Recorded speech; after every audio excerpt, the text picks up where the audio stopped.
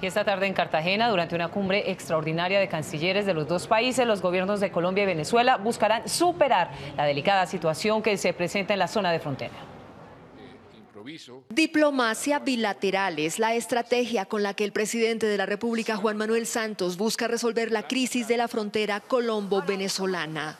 Santos ha evitado por todos los medios una situación de confrontación verbal con su homólogo de Venezuela, el presidente Nicolás Maduro. Es el nivel de reserva que maneja el jefe de Estado que ha evitado consultar directamente a líderes latinoamericanos o mundiales sobre la crisis. El mandatario ha dado instrucciones a su equipo de gobierno para protestar formalmente esta tarde ante el gobierno de Venezuela por los malos tratos que vienen recibiendo los colombianos deportados del vecino país. Cartagena es la sede de la cumbre de ministros de los dos gobiernos, donde se evaluará el momento de tensión en las relaciones bilaterales y se analizarán posibles salidas a la crisis. El presidente colombiano visitará la zona de frontera para acompañar a la población deportada y recibir un informe pormenorizado del éxodo colombiano.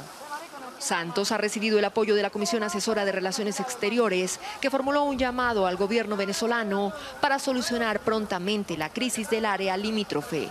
Cuatro, hace un llamado al gobierno venezolano para que se activen los mecanismos acordados propuestos desde hace meses para manejar este tipo de situaciones.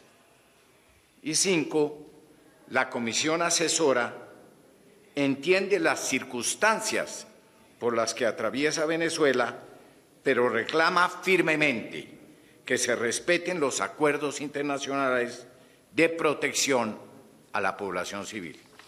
Entre tanto, el presidente Nicolás Maduro continúa decidido a mantener indefinidamente las medidas de cierre de frontera. El gobierno venezolano no descarta nuevos cierres del área limítrofe para las próximas horas. Para ello, Maduro designó al general Carlos Alberto Martínez como autoridad única de los seis municipios venezolanos declarados bajo estado de excepción, desde donde se están adelantando las deportaciones de la población colombiana.